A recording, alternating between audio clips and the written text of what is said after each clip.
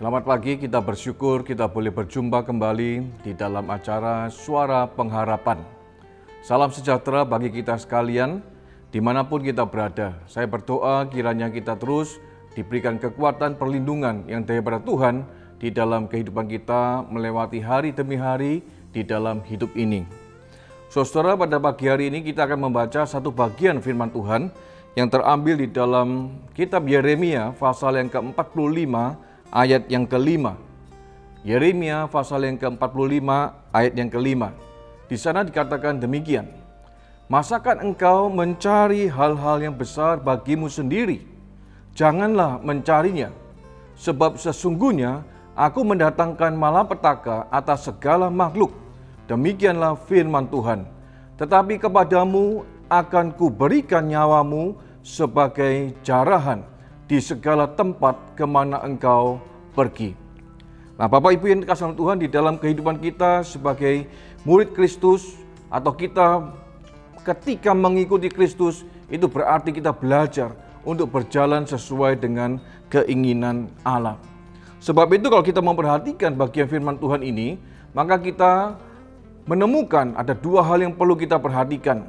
Saudara, yang pertama, Yeremia mengingatkan akan setiap kita supaya kita selalu mencari Tuhan. Dengan kata lain, kita ini sering kali tidak mencari Tuhan, tetapi mencari sesuatu untuk diri sendiri. Nah, saudara, itu berarti kita sedang menempatkan Tuhan pada urutan yang kesekian. Padahal Allah menghendaki relasi yang akrab dengan setiap kita. Saudara, ini yang pertama yang diingatkan oleh Yeremia untuk setiap kita. Kita sering kali tidak mencari Tuhan, tetapi mencari sesuatu untuk diri sendiri. Yang kedua, kita lebih menghargai segala sesuatu yang bersifat lahiriah atau materi. Padahal Allah di sini mengingatkan melalui Nabi Yeremia bahwa Allah menghargai nyawa, nyawa akan setiap manusia. Sebab itu kita belajar, kalau kita melihat kehidupan ini, kita harus juga belajar melihat dengan cara pandang Allah. Untuk lebih menghargai nyawa daripada segala sesuatu atau daripada apa yang kita miliki. Bapak, Ibu, saudara sekalian, kita belajar untuk hidup sesuai dengan keinginan Allah. Hidup berjalan sesuai dengan keinginan Allah. Dan itu diperlukan dua hal yang harus kita ingat.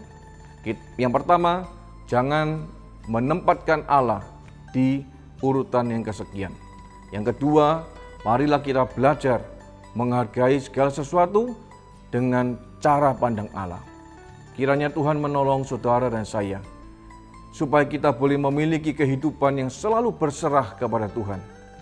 Berserah atau menyerahkan diri itu berarti kita menolak diri kita dari keinginan untuk mengajukan segala macam pertanyaan kepada Allah.